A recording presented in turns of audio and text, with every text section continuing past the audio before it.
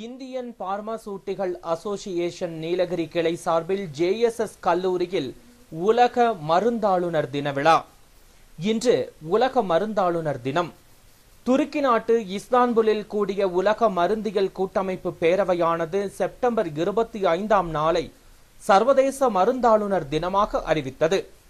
உலகில் உள்ள மக்களின் உடல் நலத்தை மேம்படுத்துவதில் மருந்தாளுநர்களுக்கு உரிய பங்கினை ஊக்கப்படுத்தி எடுத்துரைக்கும் விதமாக நிகழ்ச்சிகளை ஒருங்கிணைப்பது மக்கள் ஆரோக்கியத்திற்கு மருந்தாளுநர்கள் வழங்கும் பல நன்மைகளை பிரதிபலிப்பது போன்றவற்றை முக்கிய நோக்கங்களாக கொண்டு இந்த சிறப்பு தினம் ஆண்டுதோறும் அனுசரிக்கப்பட்டு வருகிறது. அதன்படி உதகை ஜேஎஸ்எஸ் பார்மசி கல்லூரியில் இன்று மருந்தாளுநர் தினம் கொண்டாடப்பட்டது.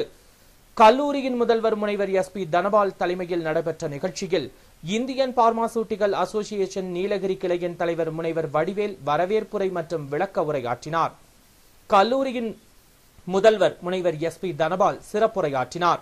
அவர்தம் சிறப்புரையில் மருத்துவத்தில் மருத்துவருக்கும் மருந்தாளுநர்களுக்கும் மிக முக்கிய பங்கு உண்டு. ஏனெனில் மருந்தாளுநர் இல்லையேல் மருந்தியல் இல்லை மருந்தியல் இல்லையேல் மருத்துவம் இல்லை. இன்றைய காலகட்டத்தில் உணவுக்கு இணையாக பங்கு மருந்துக்கும் உள்ளது எனில் மருந்தும் மருந்தாளுநர்களும் பிரிக்க முடியாத சக்திகளாகவே உணர முடிகிறது.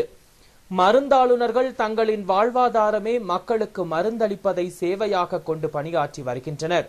அத்தியாவசியமான பொறுப்பு மருந்தாளுநர்களுடையது என்று பேசினார். பேராசிரியர்கள் இணைந்து உறுதிமொழி ஏற்றனர். உலக மருந்தாளுநர் தினத்தினையொட்டி பேராசிரியர்கள் மாணவர்கள் பொதுமக்களுக்கு மருந்துகள் உட்கொள்வது குறித்த கையேடுகளை உதகை நகர பகுதிகளில் வழங்கினர். இந்தியன் பார்மாசூட்டிக்கல் அசோசியேஷன் நீலகிரி கிளை செயலாளர் முனைவர் கணேஷ் சங்க செயல்பாடுகள் குறித்து விரிவாக எடுத்துரைத்தார். சங்கத்தின் பொருளாளர் முனைவர் காளிராஜன் நிறைவில் நன்றி கூறினார்.